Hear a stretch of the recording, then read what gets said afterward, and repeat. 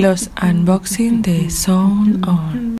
Hola fans del rock, eh, bienvenidos a un nuevo unboxing de Sound On.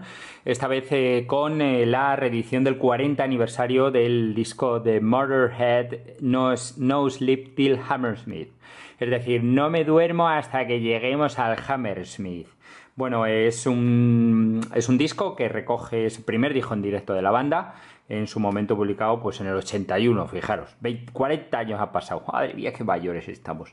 Eh, bueno, pues es un, disco que curiosamente llegó al número uno en Inglaterra, digo curiosamente porque es una banda pues de rock, de para que veáis lo que era la época, en la época los discos de rock llegaban al número uno, chavales, no como ahora que solo hay mierda en los números uno. Bien, pues como digo, han reeditado el, disco en diversas ediciones. Yo me he comprado la edición pobre porque no, no, no da para tanto esto. Eh, yo para tener el mismo disco en directo 18 veces, pues me compro este. Bueno, en realidad yo el disco ya lo tenía. Yo tenía el disco en vinilo, en vinyl. Aquí lo tenéis en mi edición. Es una edición española, por eso pone aquí número en Inglaterra. Esto no se puede quitar.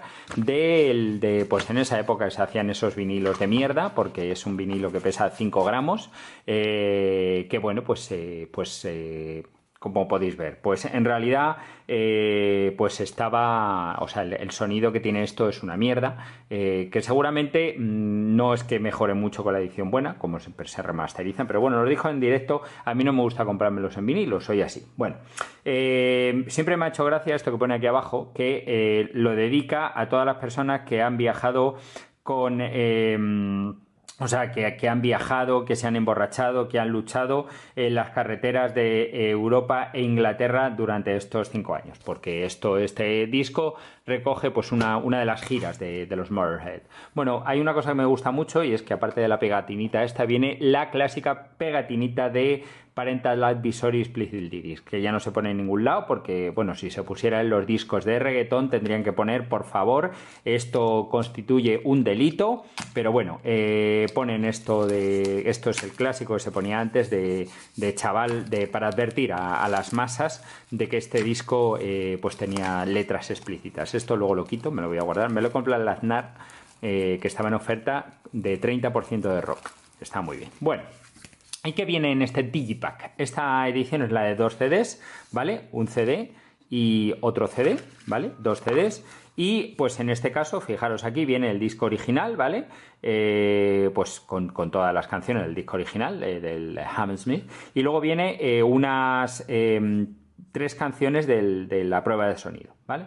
Y luego en el disco 2 viene de la misma gira un concierto en Newcastle, en el Newcastle City Hall, ¿vale? Con, pues como veis, más o menos la misma eh, setlist, ¿vale? Pero bueno, pues tiene algunas variaciones, etcétera. Como digo, hay una edición eh, super limited de Motherfucker con un montón de cosas que, pues que no, me da para tanto la cosa. Bueno, eh, en este caso viene es un libreto de estos así gordete y que viene pues con un bonito con un bonito set de fotos, ya sabéis que siempre nos leemos todo, ¿vale? Porque somos así, ¿vale?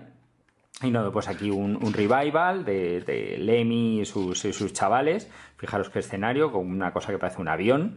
Bueno, un montón. Es que épocas, de verdad, qué épocas. Bueno, aquí está el anuncio. Los, invitados eran un grupo que se llama Weapon, que yo a mí, lo siento, pero no, no me suenan de nada. Muy bien, aquí la gente hablando de sus cosas, aquí tocando sus movidas. Este debe ser el, fíjate, el póster de de, del, este, del disco. Muy bien, número en Inglaterra. Muy bien. Es una manera de, esto. Aquí el, Power Trio, uno de los mejores Power Trio de la historia, vamos a decir. Mira, mira qué fotón. Esta es una foto top. Muy bien. Aquí Lemmy con sus movidas. Muy bien. Los crates Aquí en esa época están casi todos los miembros de pasados de Motorhead eh, están, se murieron, no solo ya Lemmy, sino pues eh, el resto. Bueno, estos creo que siguen. Eh, Eddie Carter y Philly Animal Taylor. Muy bien. Porque claro, Motorhead no solo es el Lemmy, sino es el resto. Bueno, pues aquí más fotos. Aquí lo que es el máster. Y los CDs pues son aquí muy bonito con esto de con el con el torete este de, de, los Murderhead y aquí el, el Leaf a Newcastle City. Muy bien. Pues nada, disfrutaremos del rock porque así es como le gustaba a Lemmy eh, eh, esto, calificar a su música rock and roll, porque nos gusta el rock, somos así. ¡Top!